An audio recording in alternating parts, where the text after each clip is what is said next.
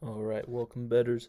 So I am going to be adding the coaches' names to the model, um, and so I'm gonna actually be scraping from the uh, Pro Football Reference website. So just kind of wanted to document this and show exactly how I go about scraping. Um, so I loaded in all these libraries. You can look at those, and basically this code I might make available uh, just for simplicity, but basically all it does is it gets all the team abbreviations and then gets me all the links that I'll need to use. Um, so I won't go into this too much. If I run this, see it just prints out the links of all the sites that it's going to go to. So if I click any one of these at random, um, like Falcons for example, um, you can clearly see uh, the coach's name is right there, and so that's going to be easy for us to scrape. Um, or it should be. Let's see. It, could be really tough. And and all of these, right? The way you got to think about scraping is you have to find the same thing across all these, right? So if I look at Falcons, it clearly says coach and then it has two names and obviously the Falcons fired someone. But if I go to, for example, so you go to the Niners, you see it says coach and then just Kyle Shanahan, right?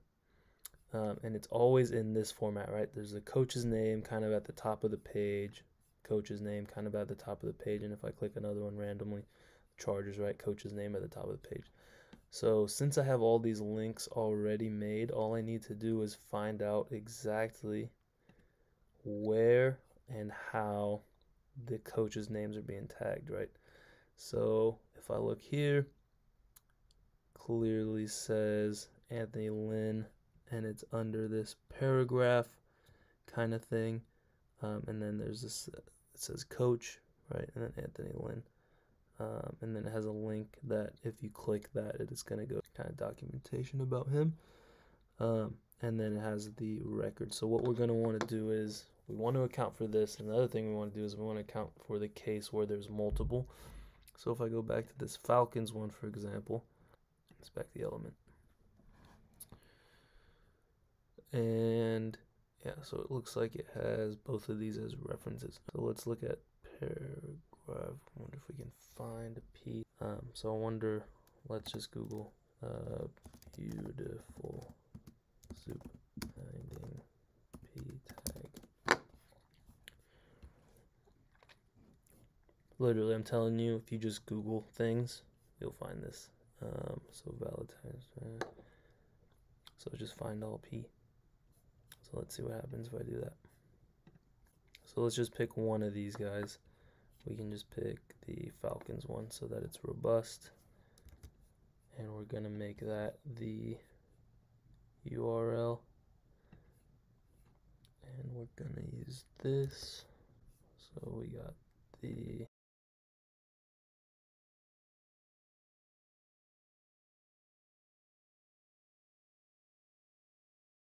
So you can see it literally just lists out the entire HTML that's like exactly the same as this. So now what we're going to do is we're going to find a way to grab this coach thing. So what we're going to do is exactly what it says here, what we found, find all P.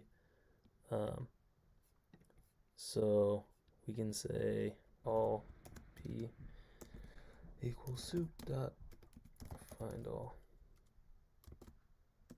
P. And let's see if that works. It might not. Let me see if I make this. Okay, so that seemed to work.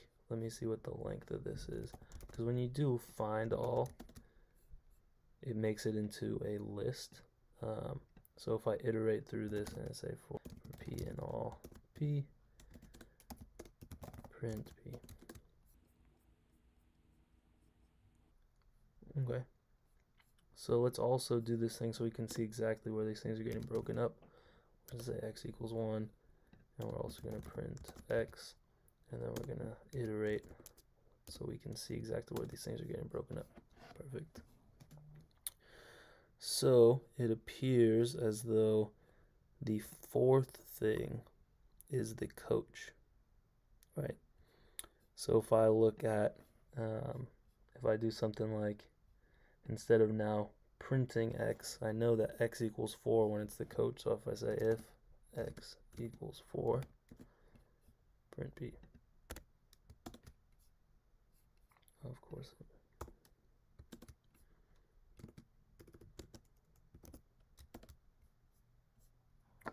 And there it is. So with x equals 4, print p. And now we see the coach exactly like uh, we saw on this, right? Coach strong, href, blah, blah, blah. And we look in our notebook how it says coach strong, href, blah, blah, blah. Right, exactly the same. Um, let me see. There's a command you can use where you type dot text that sometimes works. Let me see if that works. Boom, there it is. So it says coach, Dan Quinn, and Raheem Morris. Exactly what we see in right here. Dan Quinn and Raheem Morris, right? And so now we have this, and what we can do is we can also say print that and replace the word coach and this with nothing. And now if we run that, it should have nothing. And we can just do these guys L strip and R strip and it gets rid of the blanks on either side. Um, so now we have this, and so we know that there's multiple coaches. And then the cool thing is, right? Watch, if I take this, and instead of using that Atlanta Falcons one, let's just use a random one. See if this works. Say I use the Jacksonville one.